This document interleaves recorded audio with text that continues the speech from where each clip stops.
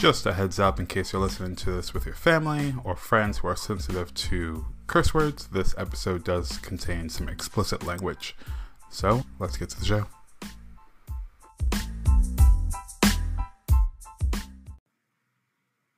This is Spike Lee.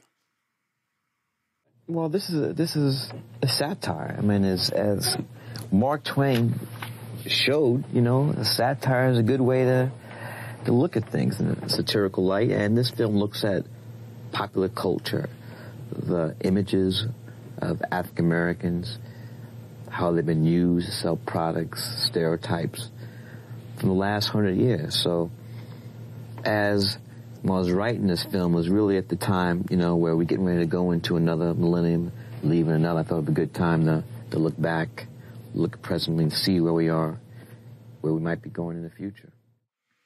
And this is Required Watching, where we watch the most essential films from the list of cinematic influencers and look at them through the lens of learning about filmmaking and how to move forward. I'm your host, Tray Epps, and today we're doing things a little bit differently here on Required Watching. We have our very first guest, Kolby Mac of the Kolby Told Me podcast. I will leave a link in the show notes. Uh, and the things that we're referencing will also be in the show notes. Listen, Kolby is a, a family member of mine, a friend of mine, but most of all, the most relevant to you, is that he's a filmmaker and he's someone who reviews movies all the darn time. And we get into a bit of a heated conversation about this film and what it means in the context of the world that we're living in, as well as filmmaking. So, without further ado, please sit back, relax, and enjoy this conversation. How's it going, buddy? Yo, yo, yo, what up? It's your boy Kolby Mac, and it's taken too damn long to chop it up with my quote unquote best friend on his podcast. So it's about damn time. Listen, we're, we're doing it. We're here now. It, it only took a pandemic and some, you know, revolutions to to uh, to get this going, but we're here. We are here, man. We are here. I mean, listen, and we're talking about what bamboozled today. Um, yeah, Bamboozle, Bamboozle today, even though it came out 20 years ago, um, it still feels as important as ever, especially now. Listen, uh, in case everyone doesn't know what this movie's about, go see it. It's another Spike Lee joint, uh, and it's about a frustrated African American TV writer who proposes a blackface minstrel show in protest. He does this in protest, but much to his chagrin, it becomes a hit and I, I, think I'm just going to leave it right there. And as we talk about it, we'll learn a little bit more about the film. But just like you said, it it's something that. okay, I, am actually going to take a step back. Kaylin, what what are you, what are your, some of your first thoughts? You had you seen this before? Have you not seen this? I did not see it, um, and I was like, damn. You know, I Spike Lee. I admire his work a lot. Definitely one of my favorite directors. Right. Um, his style is very specific, very distinct. But I tried to understand where I was at this time when this film came out. So this was was it 2000 or 2001? Can't remember. It's 2000, so it's pre 9/11. Pre 9/11, pre right? High high definition. Yeah. Exactly. So one pre 9/11 means I was in middle school. This was not the type of film that was going to catch my attention. And at that time, Spike Lee was super big in the late 80s, 90s, and I think in the early 2000s, he was in a different point of his career where he still never got he never got his due. He never got the flowers that, you know, that he justly deserved. And I think he was getting even more experimental with his work where yeah do the right things the she's gotta have it the School Daze the malcolm x all of those films felt like black essentials right where in yeah. 2000 a lot of households were dealing with other things where some of his films didn't seem as essential and i feel like a lot of people missed it and based on the box office a lot of people missed it um, a lot of people missed it. Yeah, that's right. But it is um, one, of, one of like I'll say this: it's one of his most important films that I think that I've ever watched. So I never saw it before, and I'm not going to say I regretted it because I mean at that point in time I was you know 13, 14 years old. My mind was looking for different things, and I don't think I sure. would have ever like really appreciated what I got at that time. I'm definitely appreciative more now that I'm an older man. You, you know, I, I have a very a very different. Uh, thought on this because for me, the, the, exact opposite. I had the DVD mm. of this in my house. I don't think I saw it in theaters, but I had the DVD, and I can tell you that whatever age I was, which was what maybe twelve or thirteen at the time, uh, I, I, I wasn't like a I need to see every Spike Lee joint, but something about this. I think it was maybe Tommy Davidson, maybe it was Jada. Like it, it like what the actors brought me mm-hmm. to this. Well, um, I mean, it's a it's a it's surprising how big this cast is, and yet how little attention this film got. It's it's kind of mind blowing. I mean, looking back at some of the films that he did before this, uh, like right before this, uh, of note, you have Summer of Sam. Uh, he he directed uh, He Got Game, both of these movies in 1998. Uh, Get on the Bus. Do you remember that film? Yeah. Girl Six. Like he was putting, okay, and, and I'm I'm leaving things out. I'm leaving like TV specials out. I'm leaving out music videos. Like Spike Lee was everywhere at this time. Yet this movie would not be on anyone's list of uh, of films that need to be seen by him. And I I think that's a crime. I think there's a lot of films that he has it, that not that they aren't great. I mean, we can all. Everyone talks a lot of shit about uh, Quentin Tarantino, but Spike Lee has banger after banger after banger. And I think he needs more attention than what he than what he has. I think he gets more attention as a person than he does as a filmmaker. Am I wrong? No, you're absolutely right. And I think that's like I think that's the kind of um the the the gift and the curse of be of having celebrity, right? Um and being an artist where sometimes your celebrity can can outshine your art, especially when a lot of Spike Lee's films, if you look at his entire filmography, they have a very pointed perspective, right? And sure, absolutely. For a lot of folks, especially mainstream Hollywood, this is something that is uncomfortable for a lot of people to be able to watch. Um, I love it because these films were made for me. And I love that it challenges the status quo. I mean, one, if you are working in Hollywood, you can watch Bamboozled and feel very, very conflicted and very, very conflicted. you know, you know what I mean? And it's crazy to think like how many parallels there are in this film to what's going on right at this very moment, especially with us working yeah, inside sure. of the entertainment industry. But yeah, I mean, it's it, it is quite insane how little pub this film has had with the amount of people inside of it, and I think some people there's there's a lot of folks that were just turned off by the name of Spike Lee who already they already, exactly, they, they already had their they already had, they had their heels dug in. They're like, yeah, I'm gonna respect him because like I know a lot of people like him, but his films aren't for me. Right. Now, now let me ask you this because I I have this conversation with friends a lot, and we will talk about the movie. Is uh, like you said, this movie was made for me. Like this is a black movie made for black people, as opposed to a black movie being made for white people. Green Book is not a black movie, but that's made for white people. Like that's yeah, that's not that's that's made for the masses. That's not pointed at me as a, a, as a black man. That's a very interesting discussion point in its own and it's come up recently as this entire movement since the murder of george floyd right and people talking about elevating black and brown voices and want to celebrating black cinema what is black cinema? You know i have another podcast we try to discover that in our own individual ways and you know it's funny because um, spike lee's newest joint the five bloods that would be considered black cinema. You have a black creator in you know behind the camera you have black creatives and storytellers and actors in front of the camera black producers stuff like that. With Green Book, like you said, you have a, my opinion, a black co-lead, but that's fine. A supporting character. With no, he is. No, he he is. He, he uh, is let's right? not sugarcoat it. He yeah, is. absolutely. And is it a black? Because I mean, one, the title Green Book is based upon you know that that era in our in our country where essentially there were citizens of this country, African American citizens that were not allowed to patron certain establishments and needed a guide on how to navigate you know, Jim Crow South, right? That's right. what the Green Book is. That in itself is an, a, a we're, we're trying to uncover what is the black plight of being in America, right? So on its face, that should be a black film. But when you have a white writer and you have maybe one Af- African American producer and Octavia Spencer who really like just like was kind of drowned out by everybody and stuff like that, um, it's right. tough. That is a black film through a white lens. What's what's the film? What's the film with? I, and I get a lot of stick for this, but what's the film with Taraji? Uh, Hidden Figures. Hidden Figures. Same thing. I, it's it's not. It's the exact same thing. Again, mm-hmm. you go three three black women. How is that not a black film made for black people? Like it's it's not made with me in mind. As in, as in, Ooh, it's made say, for say, my. Say that general... again, because I think some people don't understand that.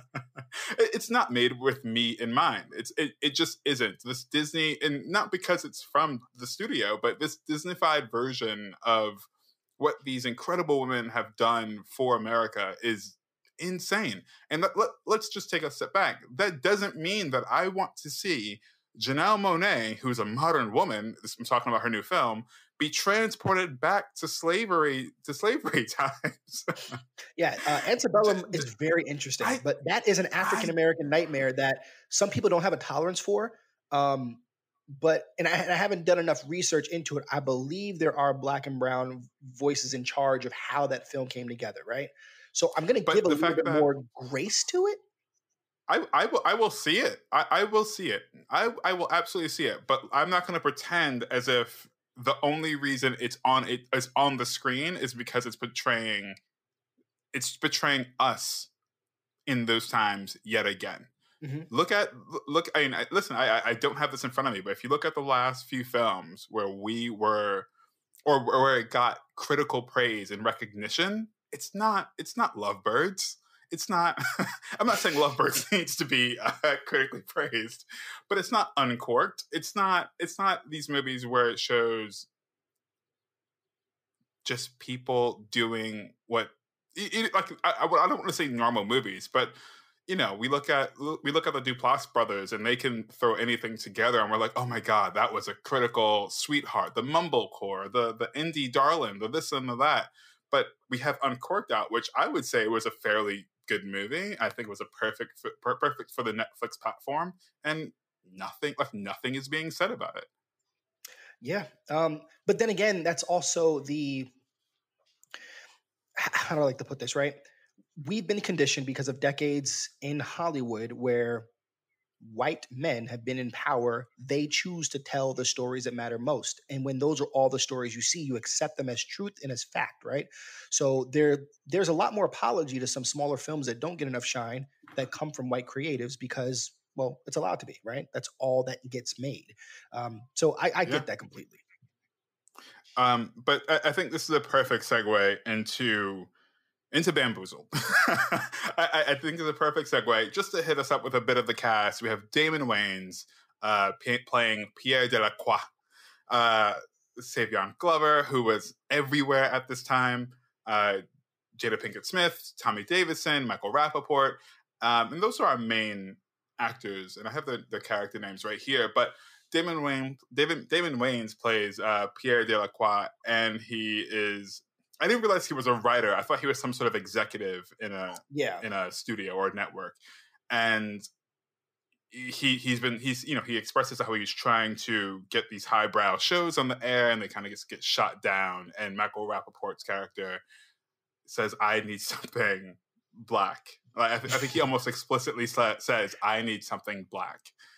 Um, and, and I mean, this it's it's so it's so silly, and I feel I feel embarrassed to have to say this, but I think we all know how this goes. You know, Damon Wayans goes, "I'm going to give you exactly what it is that you want in order to prove you wrong," and he comes up with this idea of putting on a minstrel show or a millennium minstrel show, and kind of making this event TV more or less. And Michael Rapaport is in love with the idea, and here comes uh, Savion Glover's Mantan, or excuse me, Man Ray is his name.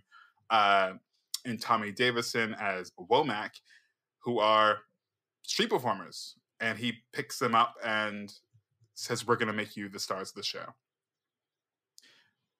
What do you think about this at, at this point of the film? Like, are, are you buying any of this? Are you on board? Are you, like, were you a bit weary? Because this is what, the first 30 minutes, maybe? Oh, yeah. I mean, and it gets to it really quick where you get those signature Spike Lee isms that you'll find inside of a lot of his films, right? Um, the you know the gliding, the, you know the uh, the tracking shot and stuff like that, like his signature tracking shot, uh, the the opening narration of the film and that monologue, it's extremely powerful. One, I was like, damn, Damon Wayans in this movie, okay, and what, starting with his characterization of Pierre Delacroix, it's like, okay, I see exactly what he's doing.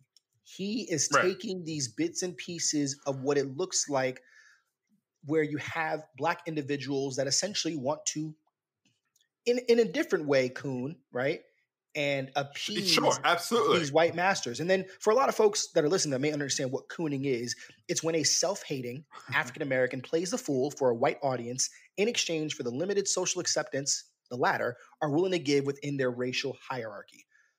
So you get varying levels of cooning all throughout this film, right? In Pierre's case, this is a man who is educated, has, you know, climbed the corporate ladder, still has to answer to a white boss that callously says that I'm blacker than you. And he, how yeah, he, oh my gosh, and, and, yeah, and yeah, it's crazy to see how he interacts in, with Michael Rapaport. And I've got an affinity with Michael Rapaport a lot.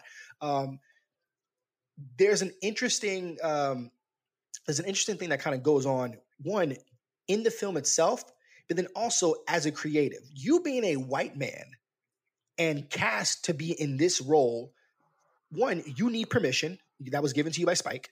You need permission from your from your co-stars in Jada and Jada and you know Damon Wayans and Tommy Davidson and Savion Glover because yeah. you're going to be engaging in a way that can be really really tough, even though it's quote unquote acting, right? So that takes a lot. The entire setup of this world.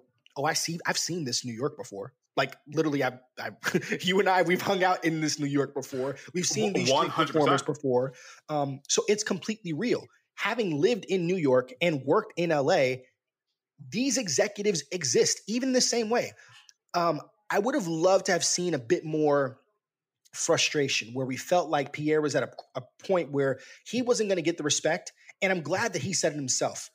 Well, if I'm not going to get what I want, I'm not about to, you know, you know, quit and get nothing. I'm gonna make them fire me. I'm glad sure, that was sure. pointed and it was pushed even more. And that's what okay. It, uh, yeah. It, it lays out clearly what his goal is to do to get fired. And I'm gonna do it in the way that is completely in his mind saying, This is what you really want. And I'm gonna make you eat it till you think because in his mind, this shouldn't work. And to his chagrin, it does. And I, think it's funny is I, I think you're absolutely right, and I think that's what's lost. I think I, I think one, one of my only criticisms as a character, I mean, I have many criticisms, but one of my criticisms as, as, a character is that Delacroix goes, you know, I'm doing this to take you down and to take me down. He's trying to kamikaze this whole thing, right? Mm-hmm. But but as the movie goes on and as this becomes a hit, I I don't know. I like his his compass is obviously being being uh being swayed, but I, I don't get why he's not sticking to is like we need to not do this. Yeah, uh, we if need there's to a better balance. We see so much strength in how, like, we can see on screen how doing what he's doing is warping what his original intent was. But what I didn't get from the beginning was, are you really unhappy? Like I want, I wanted to be a little bit more. Like it should have been like the, the counterbalance in the film should have been more of, I'm doing this to make you look stupid, and I'm shocked at how you aren't looking stupid, right? So I wanted more for him, right? And I yeah. feel like, but then that becomes more of what Jada's character is as Sloan. Right, right, right. I mean, because because we see we do see Damon Wayans' character. He's living in the clock house, which I don't know if you know this. It's it, it's so expensive. It's millions of dollars, right? And we're talking about mm-hmm. we're talking about a TV network doing primetime TV in New York, which almost what was the name of the, what was the, name of the network? Uh, oh, CNS. CNS. I really, uh, you, did, have you looked up like what does it mean? I'm I'm, I'm curious to like. If, oh no, I, I haven't. CNS. I, I haven't. For network. But, well, just like you were saying about the movie in general, I was like, there's not much online about it. Mm-hmm. There's not much online about this film, even when Spike Lee's talking about for, the film. I was looking for like essays and stuff like that. Like, I am really, really shocked how little there is to it, and that just kind of points to how this really went under the radar. You know, um, it's crazy. Um, so, so it, there's also this connection between Man Ray and Tommy Davidson's character Womack, who know Jada Pinkett's character, who's an assistant, if I'm not mistaken, Sloan, and we don't know how they know each other. Like there seems yeah. to be like some real tight, real it, loose connection. Like somewhere, somewhere along the way, the two of these guys got lost, but we don't know where exactly. Uh, uh, you know, they like so they get cast. They just they're again street performers. They're just looking for any kind of money to eat and survive. They're they're slumming it and staying in this.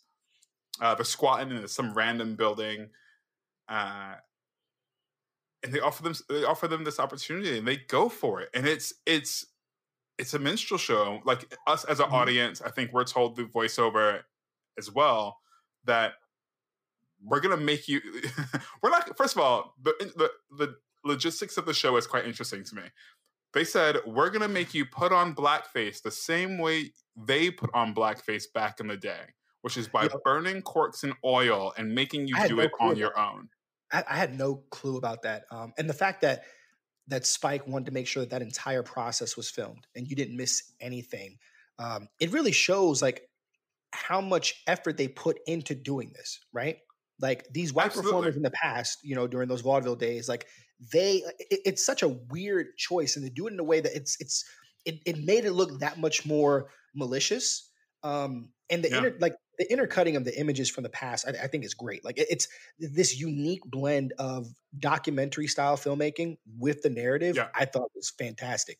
Um, but you know what? I cannot knock Man Ray and Womack for doing what they did um, I've been a starving artist and I have been willing to take roles that may not, you know, they they may not have been great, but you got to eat. So they are they were not in a position to say no. Um, and you can see Sloan struggling, like, yo, man, these are two dudes that I know. Y'all really don't want to do this, but it's the only shot that they got. So I mean, listen, they from a filmmaking point of view, Spike Lee has said I had no like every time they're putting on the the blackface, they're crying, and I didn't like, I didn't tell them to cry. They're like they are uh, like wow. the actors, Tommy Davidson and Savion Glover, are crying when they. And I think we get two or three occasions where they're putting on blackface. Yeah, but they're crying because of this. I mean, there are Damn. moments in this film where I'm like, I don't know how they did this as an actor, just like you said, I I understand the idea that like an opportunity is an opportunity. You have to do everything that you can do to to get an inch, you know, and. Mm-hmm. who who are we to get that inch and go? Well, I ain't gonna. I, I'm not gonna sit here and do the thing that you're hiring me to do. Yeah, like Damn, like I, we're I, we're not sure.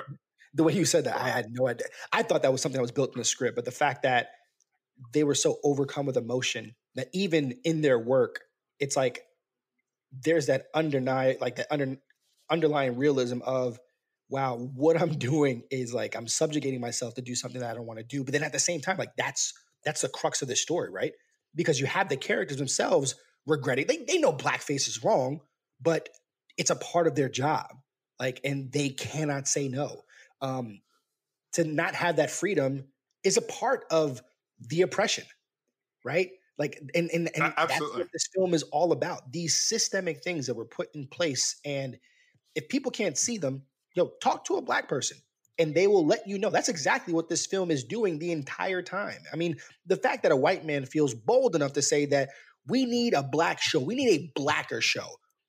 It's all based off of sure. what he defines as black, not what we do.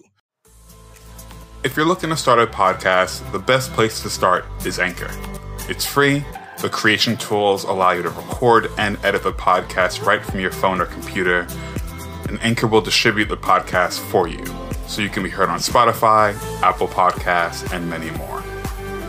Uh, you can make money from your podcast with no minimum listenership, and it's easy to do everything to make a podcast in one place. Download the free Anchor app or go to anchor.fm to get started.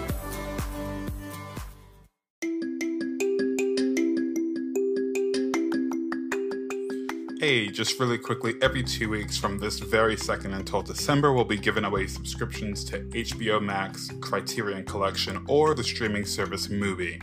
These are great platforms to watch some of the films that we'll be talking about during the show. So all you have to do is subscribe, leave a review, and we'll choose a new winner every two weeks. So get on it.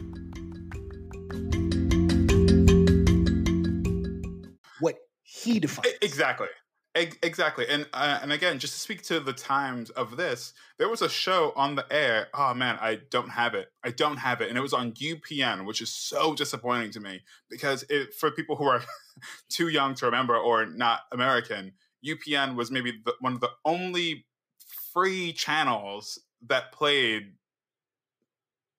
black shows. I mean, there's yeah, really no I mean, other way. There's it, really it was, the, it was the non-cable, you know, BET at the time um, that's where you'd watch Moesha and you'd watch Sister Sister and you watch Girlfriends and you watch, yeah. you know, um, the Parkers.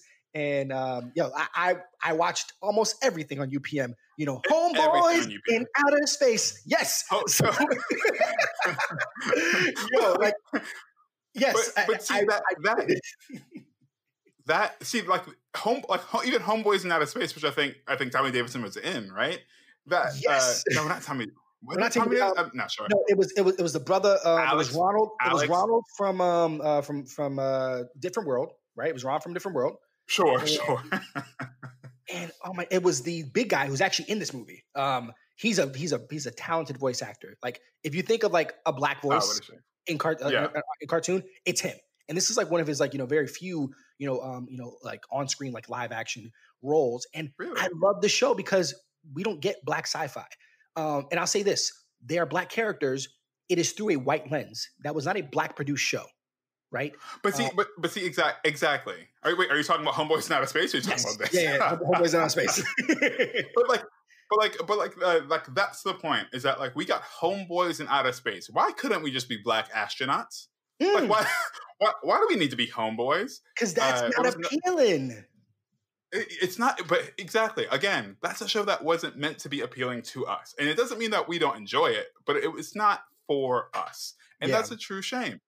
And, um, and, and folks, when we say it's not for us, it's got to be by us to be for us. Like if you take, um, you know, uh, oh my gosh, gosh, why am I? Uh, Rudy Ray Brown, right? And what he did in the blaxploitation era, he specifically set out to make films that were for us. And obviously he made them, so they were by us, right? And the white executives that didn't understand what he was doing and then wanted to kind of like, you know, appropriate what that was, or like, hey, how about you change this up and do no, no, no, no. I'm making this for us. And whatever your idea of what bad is, that's great. This isn't bad for us. It's the same conversation that we get with Tyler Perry. I may have my thoughts about that, but he's very specific about making media by us for us. And I, I'd, I'd argue that's not for us, but I, am with you. well, I mean, but, but, you, but it's undeniable that we patronize this product. Sure, absolutely. We defend this product, and I mean, I'm not going to sit and say like when I saw you know um, uh, uh, Madea's family funeral that I didn't laugh. So like I obviously am entertained by it. I don't feel great at the end of it because even though most of us are watching, there's those that don't look like us that are watching and laughing but they're laughing for the completely wrong reasons. I mean, and and and this, I think, I think it's a very small part, but uh, but it, but that's in this as well. Oh, where yeah. uh, oh my gosh the, the, art the depiction of the audience throughout this film as we get like you know deeper and deeper to the story is horrifying it's it's insane like i yeah, it, it's absolutely insane. Where are we at in the film? So just to just to jump along a little bit, there's a bit of an audition process. The film is getting up and running, and we see the likes of like we see we see Mos Def, who I yeah. think is a great actor. I'm not gonna lie to you. Uh, mm-hmm. We see Mos Def. We see, and I forget what the rest of the band, the actual band, is called. I forget. I mean, I think you know the only person that really sticks out. Like there's a brother that you know was doing Def, um, Def, you know, comedy gym, uh, the Def Poetry. Um, I forget the White Brothers' name, but he's also a poet too. Charlie oh, Baltimore. Oh, MC Serch. Yeah, Charlie MC Baltimore. Yeah, yeah. Oh my God, Charlie Baltimore. Her and that lollipop. You don't understand the crush that I had on this light skin. Oh my gosh. Oh man. Um, yeah, and, I, like, but I completely forgot. and, and then I and then I watched it last week, and I was like, why was that question so hard on on Charlie Baltimore? Because I mean, anyways. Yeah. Uh, Uh, so by the way, MC Serch, who's the white guy in the Mau Mau's, the, the group, uh, his his credit is one sixteenth black. Yes, which he I believe he yells. All black. There's black. There's black. Black. There's um one sixteenth black. Mo, there's, there's Joe Black, Mo Black, Double Black, Big Black Africa, one sixteenth black. I think it's hilarious. It's it's hilarious, it hilarious. and uh, Um, so we get we, we get the M. Oh my gosh! So as far as as far as gags kind of coming back around, or ju- I, am not sure if I would call it a gag, but it's not really a gag. Uh, the actor's name is Thomas Jefferson. Uh, sorry, where is it? Thomas Jefferson Byrd, who plays Honeycutt. He's the, he's the he's a comedian who is auditioning another guy. He's an older guy. He is a. I think, I think he comes on stage and he's like, "I'll do whatever you want." Yes. Like literally putting out there, I'll do whatever it is that you want me to do. I'll sing. I'll make jokes. Uh, I, I, I even have the song that I'm working on, and when he's in full, full, uh, uh, like, what is it? Abe Lincoln. Yeah, with the Abe hat, Lincoln, hat everything. Yeah, Abe Lincoln costume and blackface and everything. He's going around the audience later on in the film and talking to and talking to everyone. And, and, and the thing he says, niggas is a beautiful thing. It's a be- it's a beautiful thing. He said he says it during his audition, and then it comes back around later on in the film where everyone's in blackface. Everyone, black, white, and in between, everyone's in blackface, and everyone's saying it and it's such it's such it honestly brought a tear to my eye because I was like, how in the world, how in the world have we come to this, right? Yeah. Yet, yet everyone's everyone's wearing wearing kente cloth. Everyone's everyone's throwing a fist up in the air. Everyone's listening to rap music and taking our culture and everything else. So like to to to look at to look at that ending moment. I'm sorry I did skip right to the end, but to look at that ending moment where everyone's in blackface, loving everything that is quote unquote black, and looking at us today and saying, "Oh, that's just a movie." I, I, I couldn't. I couldn't do that. Yeah, I mean, because one, I mean, think about what movies are. Movies are essentially, you know, are imitating life, or supposed to be a reflection of society. Um, think about how little has changed in 20 years. It may not be as a vote as a overt as what the film is, but it's there. I mean, think about it right Absolutely. now in the midst of civil unrest um, because of the unjust murder of George Floyd, you have opportunists, social influencers putting on blackface to show their solidarity, you know, with Black America. One, we didn't ask you to do this. Two, you're completely missing the point. Three, what you're doing is entirely the point, right? Um, I, I think it's Absolutely. great that um, Paul Mooney's character, uh, who is Pierre's father in this film, says everybody want to be black, but don't want to be black. And yeah. the thing is, for us, myself and Tray, we can't choose when not to be black. Your privilege allows you to choose to be black, right? Like that's the thing that this that, that this movie shows. Like there's so many varying messages throughout this film that are extremely powerful. Um, that honestly, you can dissect this film. Like I, I, I feel, I feel convicted to like try to write like a couple of different essays on it because there's so much here. If you think of how layered what Jordan Peele did with us, this is equally as much. It oh, feels so much more overt, absolutely. but it, there's so much truth to all of this, right? Like it, it's crazy.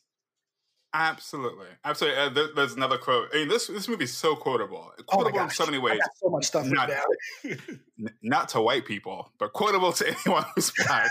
yeah. uh, uh, there's a, there's a woman who comes in. I think she's a writer or something like this. She goes, "I happen to have a master's degree in African American studies." And Pierre goes, "So you fucked a nigger in college?" Which I think was I thought it was hilarious. It is because no, how, how, how, how, how many times do we justify overstepping the line because of something else like right? We like we, we go oh like I, I can do this. I can say this because x y and z. Like you said i'm in support of i'm in support of black culture and black lives. Therefore i can put on black blackface that's yeah. not how it works. Um again let's take a step back. This is getting uh way too political for my taste. Uh um so Spike. So uh, another movie that I reviewed, which should be releasing next week, if I'm not mistaken, is Network. Uh, and it's it's if you looked at these two movies, have you seen Network? I have not. I'm familiar with it, but I haven't seen it. So if you uh, these movies are almost exactly the same, and and I mean, okay, the the specifics are definitely different, but these movies are almost exactly the same in that it is about like Bamboozled focuses a lot more on the people that are meant to be in front of the screen, when Network focuses a lot more on the network aspect of. Mm-hmm. It's essentially about a man who's going crazy, threatens to threatens to or mental health issues. I won't say he's crazy. Says he's going to uh, kill himself on air, and because of the because of the ratings and everything else, the network's like, okay, you can go back on the air, and it's because of the network's greed. It kind of just drives the movie forward. Mm. Um, but one of the best speeches is uh, one of the best speeches kind of played in this, and I, I usually don't say the N word, and I said it once already, but uh, uh, Man Ray, I think in the first episode of, of the show within Bamboozled, goes, "I'm sick and tired of being a nigger, and I and I just can't take it anymore." He says, "Go out, go go to the window, shout it out from the rooftops. I'm sick and tired of being a nigger, and I just can't take it anymore."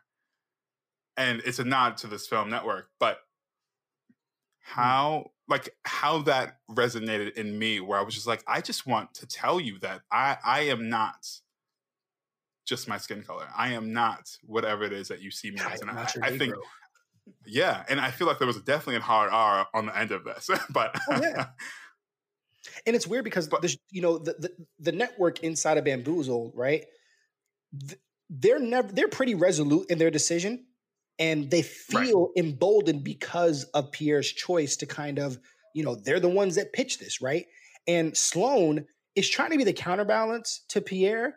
And it's like, sure. well, can't this be deemed as racist? And then you've got you've got uh, uh, Michael Rappaport's character saying, "Well, it can't be racist," you know, because it's, it's, coming it from can't be racist. It can't be racist, you know. Um, the show can't be racist because you're black, and like, just be like one there's varying degrees of racism and the term is has been very complex and i'm glad that there's been recent changes to the webster's definition uh, webster's uh, d- dictionary definition of it. Um, but like it, it's like that's where so many folks are wrong and I, I think that's how they try to like you know pacify like certain you know the things that are like you know done in real life and this this film really does a great job at trying to depict all of those you know different elements. Like how more and more Pierre becomes the grateful Negro, right? He's been given something more than and, uh, than others and forgets where he's come from. And he's called out for, you know, like a lot. He even says, you know, um, do you, rem-? you know, he's being told like, do you remember me? And he's having these nightmares where a dancing mantan, right? Uh, the, the, the little coin bank is coming to life. Yeah. And let me tell you something. One of the, the creepiest things I've ever seen on screen was in um, oh goodness, uh, uh, uh, uh, Tales from the Hood. And if you're unfamiliar with that, it yes. is a black yes. horror film, and in it's like an anthology horror film.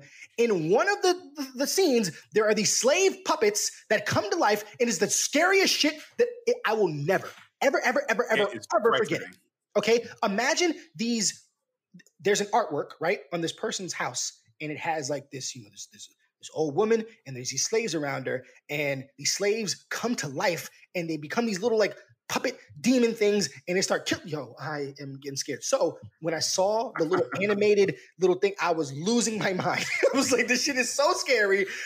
Uh, so yeah, that and but like I can imagine him being like that's essentially his his you know his his conscious trying to scream out, "What are you doing? You are." He is becoming that puppet. And even Sloan points right. out, it's like, you know, um, uh, she says a little bit later, like, whose puppet are you? That's the real question. Whose puppet are you? Because a lot of times, the things that we think we're doing, we don't think that our strings are being pulled. But when we really analyze like our actions and our decisions and stuff like that, we can get beside ourselves. Pierre had, for right or wrong, a decent, you know, you know, goal of what he was doing at the beginning of the film, and he strayed so far from it to his, you know, his demise. I mean, and and I, listen, and and uh, listen, it, it should be that it got so far along because he's finally being recognized. Oh, because because him him changing his name, his, him creating this persona and like this accent and all this to to distinguish him from just being just another black guy. Mm-hmm. It didn't get him anywhere. Yeah, no. So like, it looks, like, it like, looks different, but he didn't get anywhere. You're right. Exactly. We, we, we can we can relate this to today and say, okay, like just code switching. We all we Mm. all code Mm. switch. We even to the littlest degree we code switch. Yeah. I I I, I, go by Tray Mhm. because it's a gentler name on everyone's mind. Like even in, even in that smallest way, I go. I know I've got pla- gotten places because people know my name is Tray. Mhm. So And so and, and it's not like what you did what you did in making that choice wasn't a, like it's not malicious right?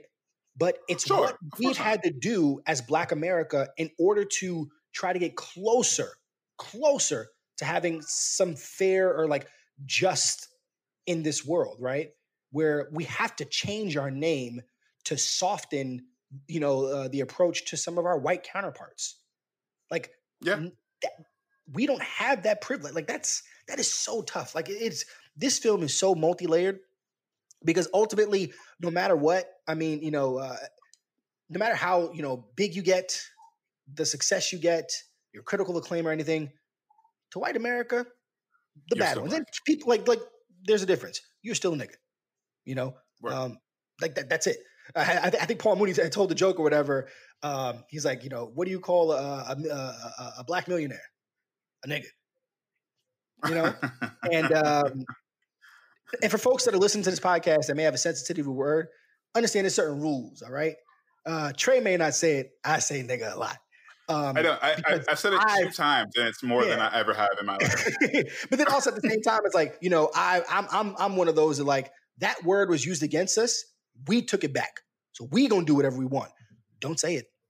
Don't you dare. Don't say it No, alone. no, no. I, I- Don't you dare. I, I stand by this. I, You know, I stand so- by this. I, I absolutely stand by the idea. Yeah, and I'm fine for those that don't want to. I've taken that word back, so it can never be used against me.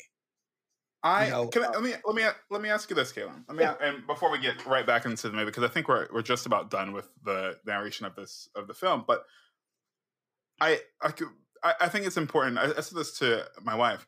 Uh, I feel as though when I say black, I I do mean all minorities.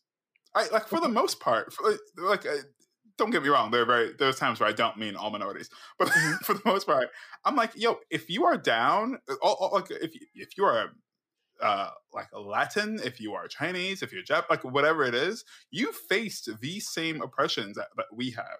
So when I say black, I don't, I, I in no way mean that because you are a minority that that your struggles don't matter. I, I group us all in it together.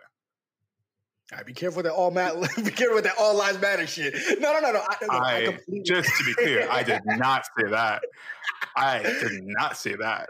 no, I, I, I exactly like. I know what you mean. And sometimes some folks want to be so like so like specific with their words because people will try to latch on to whatever fits like their narrative, and that's when they want to kind of latch onto, right?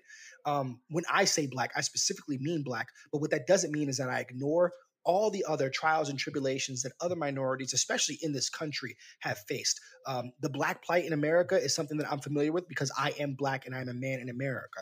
I recognize my own privilege in that, yo, I've got it slightly better than I'm not a black woman in America because that's a whole True struggle. I, I have it slightly better story. because I'm not a black gay man or a black trans man in America or a black trans woman in America. There's all these So true. varying degrees of struggle, and what what makes us similar is that we all have struggle. We are all, but but at the same time, I understand that I have a bit of privilege that others do, and then I also contend that there is white privilege, and white privilege is real, right? Um, we were brought to this country, we built this country. America has never been able to absolve itself from its original sin. It did not abolish slavery; it reformed slavery. And if you don't think so, look at the 13th Amendment in the Constitution. It's very pointed, right? It says pretty much as long as you do not commit a crime, there will be no slavery. So, what are we going to do? Do everything we can to make you commit a crime. Like that, that's it, right? Um, and that's not even a conversation really in this film, but that's something that these men and women have to deal with and can almost can be like justif- like what justifies some of those different actions because we don't have as much opportunity pierre says this is what i need to do you know what i'm going to try to take you down damn me trying to take you down you've appropriated my black culture and have warped it into something completely different and shit i fell for it too And that's the realization. Absolutely. That's what that's what's going on in Hollywood right now. That is the scary thing. So, you know, when we get Oscars so white and some people don't understand it, like, oh, there's these black directors. 2018 was a great year for black cinema, right? We had um BlacKkKlansman, Black Panther. We had all the blacks. we had I, Blind. I, I, I laugh because that's probably that's probably the best. Yeah, I mean, you're absolutely right. Go on. Yeah, I mean, also, yo, one of my favorite films of all time. In um, if Beale Street could talk. I mean, my brother got married. I think it's Eros. Like, you don't understand how impressed I was with Tray. Like I said, this, Hey. this this is why he's my best friend. Like this man just knows and gets it. Shout out to Nicholas Britell. Um, my God. Um, but still, like it's it's it's not enough, right? Um, and there's still so much work to be done. And I think the tide is changing a bit in this country. That is one. I think if this film was to able to be re-released right now, I think the impact would be so much greater than what it was 20 years ago. I mean, I, I, I would agree. I, I actually would agree. I mean, I, I we, we didn't talk about like the technicals of the film. Is there great, you know, whatever the the white standard is in regards to filmmaking practices done? I mean, it's a very grainy film. This looks rough, right? Um, it's not as It's- appealing as yeah. other films. And so I will say, in regards to the cinematography, did I love it?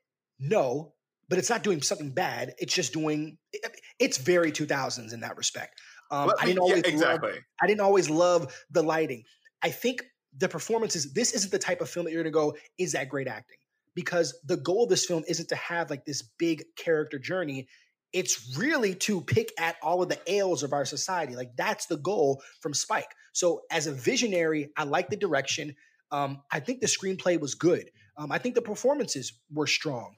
Um, in regards to what they were asked to be able to do, I love the music and I love that interjection of like the documentary style. Like, I mean, bro, at the end, Absolutely. like I cried at the end of this film. It it is a, Uh, it's, yeah. it's a fantastic ending.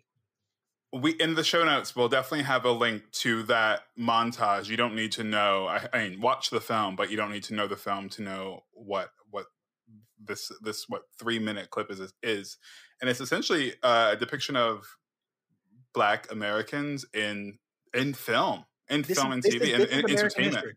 This is American history, and um you don't learn this in school at all. I, I mean, and you like you see it online. Like there's, there's a clip where with Judy Garland in blackface, and like you know this Steamboat Willie, is that right? Yeah. Uh, like we- like we we just see all different types of that. What actually got me really interested directly after watching this film is the history of Uncle Ben and Aunt Jemima. Yeah, because I, I can't tell you why. I mean, I, I, well, I, I, I can tell you exactly why. Like the the whole Mammy character who is in the movie as well. I kept looking at it and I go, man, I want some, I want some pancakes because I thought of Aunt Jemima, and then and then I thought, is that racist? It, like, it, am I am I was I being fed like racist imagery, and now I'm just relating this to syrup, or whatever? It doesn't matter. The history of Aunt Jemima is for another time. Um,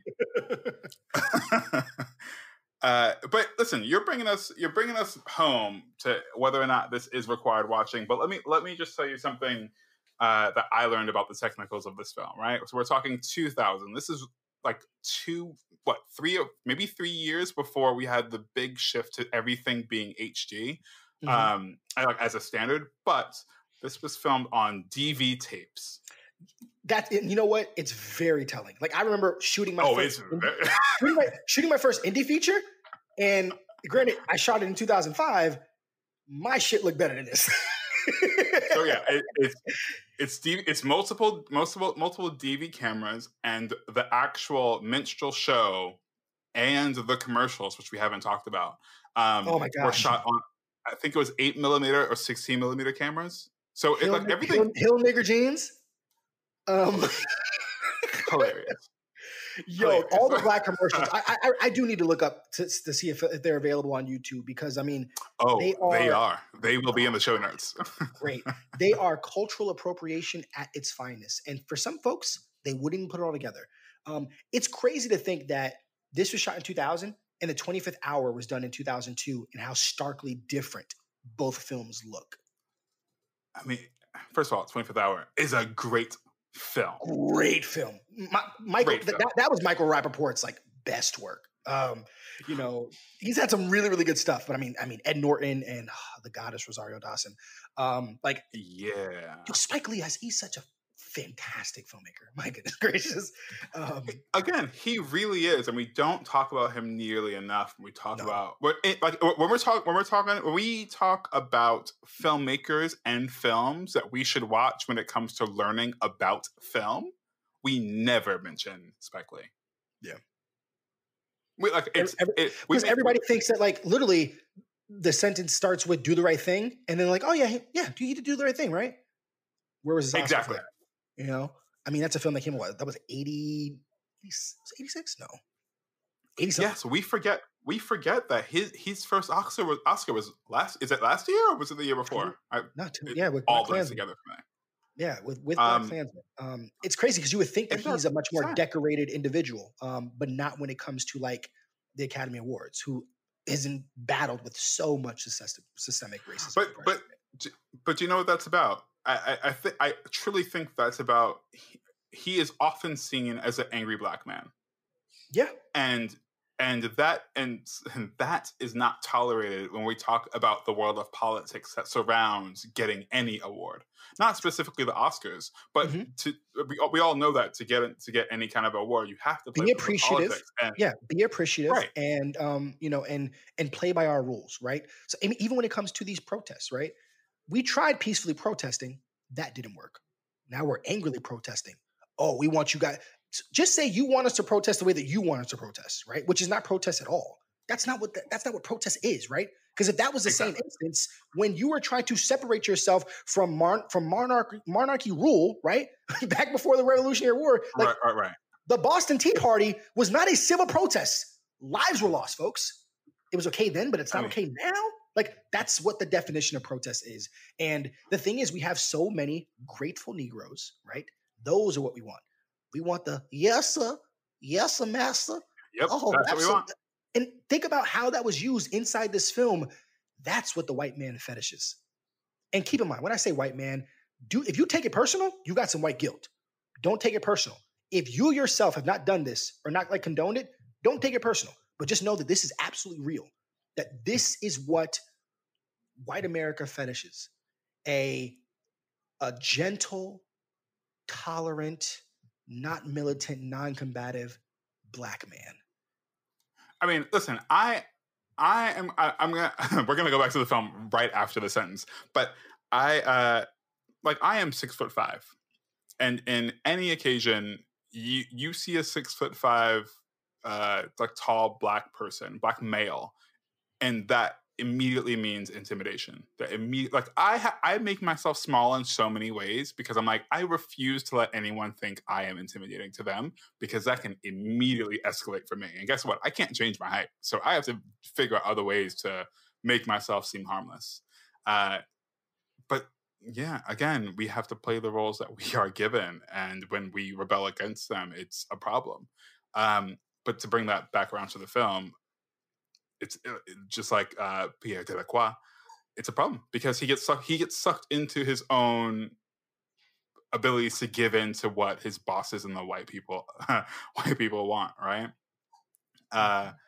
and it leads. I mean, there's a whole B story that we didn't get into, but uh, Sloan's brother, aka Jada Pinkett Smith, is a rap member. Uh, sorry, he's a member of a rap group, and I, I, don't even know who you would akin them to. Think Public Enemy, except no Lestra. I, I actually don't even know who to. Who yeah, it's it's, it's really interesting. I, I, was trying to figure out who this would be. Like, it's not Wu Tang, right?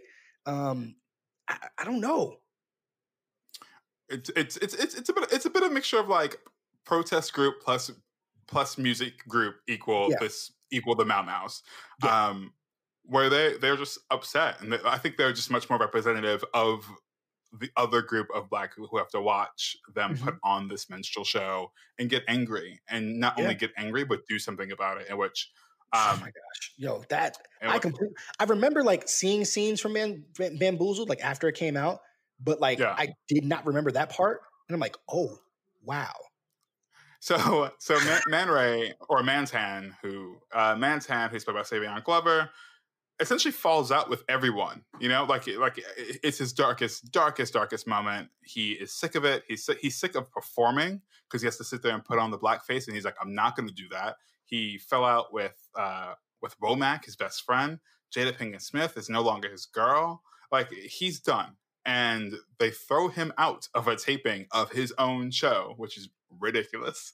uh, where Mos Def and the other members of the group are waiting. They capture him, and then they put they uh, they sent letters around saying that they were going to execute him online in a couple of days. And I thought a very funny line was because it was I, I don't remember the exact line, but it was essentially that because everyone doesn't have access to the internet or because they don't have access to computers or whatever it was, that they were going to broadcast it live on air.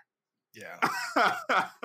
Which I thought was really funny. And they, they did. They broadcast this execution where they made they made Man Ray, uh, sorry, Man Ray slash Mantan uh, dance yet again. They're shooting at his feet. We've all seen this in cartoons. They're shooting, shooting, shooting at his feet, and he's dancing, doing his tap dance, and then they shoot him dead.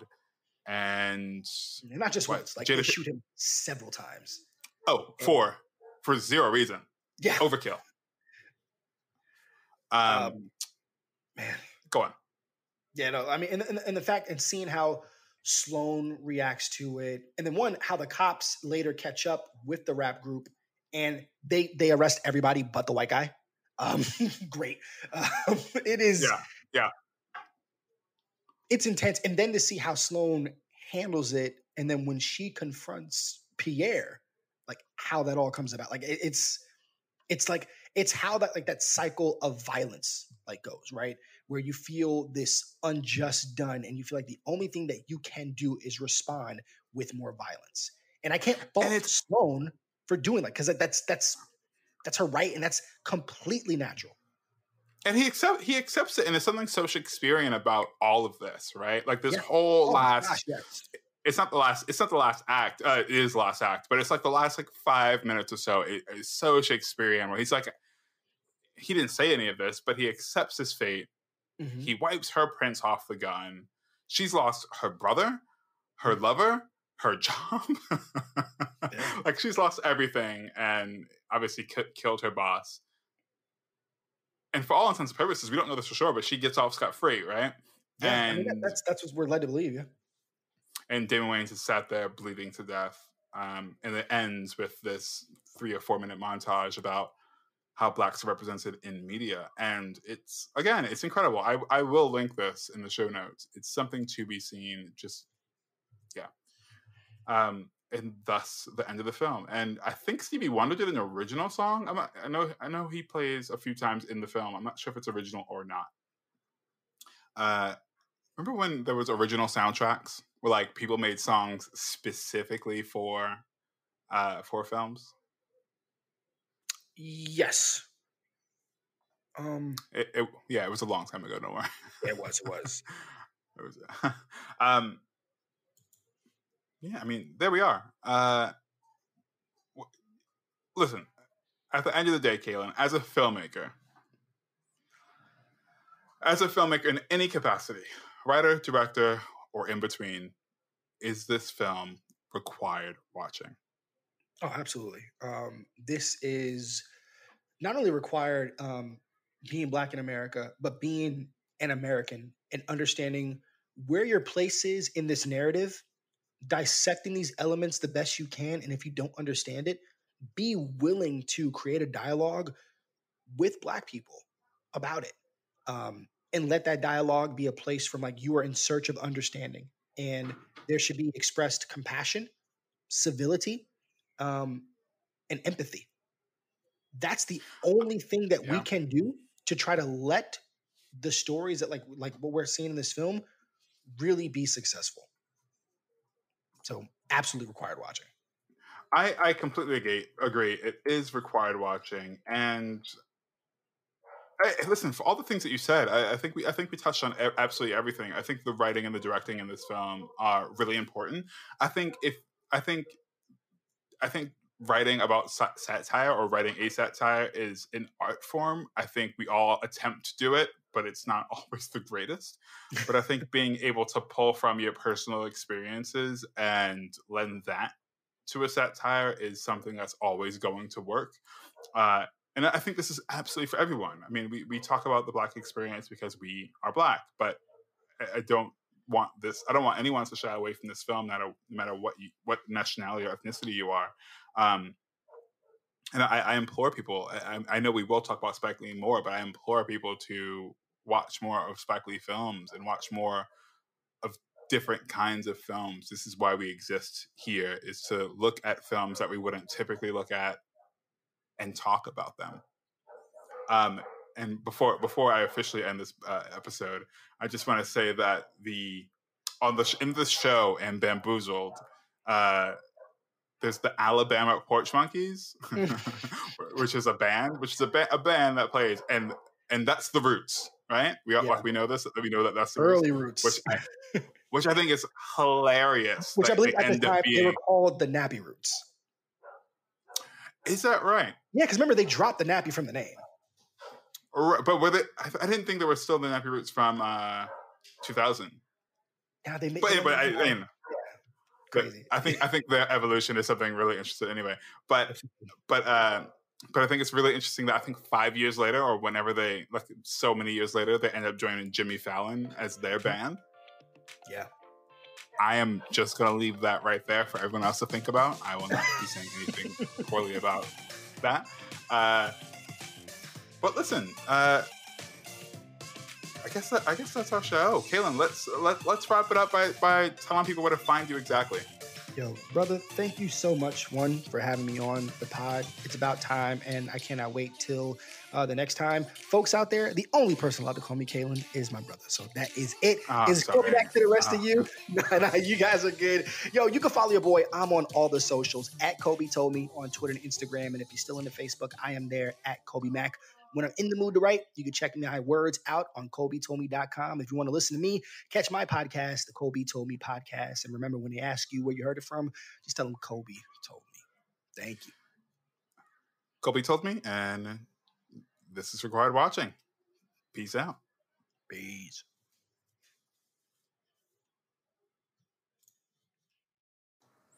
So that's our episode. I'm your host, Tray Epps. Uh, what did you think of the movie? Did I get it right or was I completely off base? Leave a message and we'll play it during our, ex- our next episode and discuss. Required Watching is a movie club, so as much as I'd love to hear my own voice, I would love to hear from you guys.